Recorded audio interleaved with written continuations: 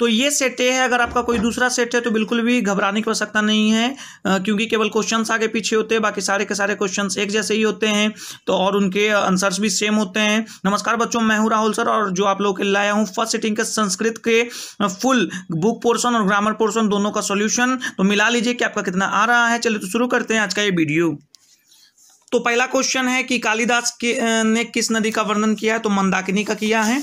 फिर बूढ़े भाग बाघ के हाथ में क्या था? तो सोने का कंगन, दानवीर कौन था? तो कर्ण, ऋष्या और असहिष्णुता को उत्पन्न करता है। अशांति कर्म कांड का वर्णन करने वाला ग्रंथ है निरुक्त। सत्य का मुख हिरण्यमय पात्र से ढका है। सत्यमेव जयते मंडकोपनिषद से में वर्णित है। फिर किसके काल में पाटलिपुत्र की रक्षा व्यवस्था उत्कृष्ट थी? चंद्रगुप्त मौर्य। एक आध क्वेश्चन का अगर आंसर गलत होता है तो आप कमेंट बॉक्स में आ सकते हैं। वहाँ से जाके देख सकते हैं कि किसका आंसर अगर पहले कमेंट बॉक्स पहले वीडियो देख लीजिए, फिर कमेंट बॉक्स जाके चेक कर लीजिए। अगर आपको लगे कि किसी का आंसर गलत है तो कमेंट बॉक्स चेक कीजिए, उसमें आपको मिल जाएगा कि इसका ओरिजिनल आंसर क्या होगा। अगर किसी का गलत हुआ है तो सिखों के दसवें गुरु कौन थे? गुरु गोविंद सिंह। हालाँकि गलत होने की संभावना बिल्कुल भी नहीं है। सिखों के दसवें गुरु थे गुरु गोविंद सिंह।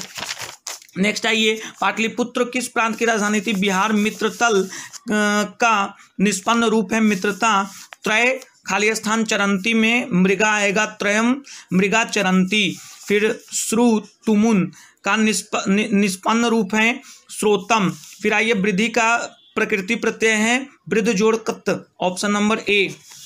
शताब्दी में द्विगु समास है फिर आइए कर्मवीर कौन था? तो राम प्रवेश राम। लक्ष्मी का विवरण लक्ष्मी किसका विवरण कर किसका वर्णन करती है? उद्योगी पुरुष का। व्याघ्र पथिक कथा किस ग्रंथ से उद्धत है? हितोप हितोपदेश से। स्वामी दयानंद के बचपन का नाम था मूल शंकर। नेक्स्ट क्वेश्चन की ओर आते हैं। आ, स्वामी दयानंद की शिक्षा की शुरुआत किस भाषा से हुई थी? संस्कृत। एकम एकम इति प्रत्येकम। ठीक है? तत्पुरुष समास का उदाहरण है धनहीन।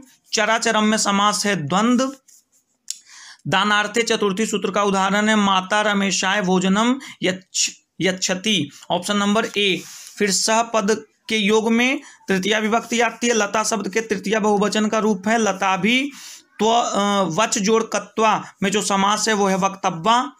से जो शब्द बनेगा, वो है वक्तव्वा। फिर आइए सराहनीय में अनियर प्रत्यय है, श्रीमान में कौन सा तद्दित प्रत्यय है? तो श्रीमान में, ये देखिए, मुतुप, ठीक है? श्रीमान में मुतुप है। नेक्स्ट क्वेश्चन आते हैं। नेक्स्ट क्वेश्चन है, लौकिक में कौन सा प्रत्यय है? तो लौकिक में इक प्रत्यय है। सबसे बड़ा शत्रु कौन है? सबसे बड़ा शत्रु आलस्य है। वास्तविक आलसियों की संख्या कितनी थी? चार। अलस कथा पाठ के रचयिता कौन है? विद्यापति। फिर आइए ऋग्वेद में कितनी महिला ऋषिकाओं का वर्णन है? चौबीस। फिर शंकर रचित के रचनाकार कौन है? तो इसका आंसर मिला नहीं है मुझे। शंकर रचित के रचनाकार हैं। कौन से हैं? वो आप कमेंट बॉक्स में आके इसको देख लें। फिर अलिखत में आ, कौन सा लकार है? तो लंग है। पचेत किस धातु का रूप है? पच। अकुरवन। ऐसे ये क्वेश्चन आपको सिंपली आपके बुक में मिल जाएगा, केवल आगे जाइए और पीछे देख लीजिए कि इसके रचनाकार कौन है। सिंपली आपको किताब में मिल जाएगी। पचेत में किस धातु का रूप है? पच। अकुरवन में कौन सी धातु है? क्री। फिर मनीषु में कौन सी विभक्ति है? सप्तमी। फिर आइए नेक्स्ट क्वेश्चन की ओर चलते हैं। भवतः किस शब्द का रूप है? भवत, गोदान, किस संस्कार का मुख्य कर्म है? अक्षारंभ, नीति श्लोक, पाठ, महाभारत के किस पर्व से संकलित है? उद्योग पर्व। महाराज धृतराष्ट्र के प्रश्नों का समुचित उत्तर देते थे मंत्री विदुर। अपृष्टो बहुभाषते किस पाठ से किस पाठ की युक्ति है? नीति श्लोक। फिर परम तृप्ति देने वाला क्या है? विद्या। फिर आइए, किसकी महिमा सर्वत्र गाई गई है। तो भारत की महिमा सर्वत्र गाई गई है।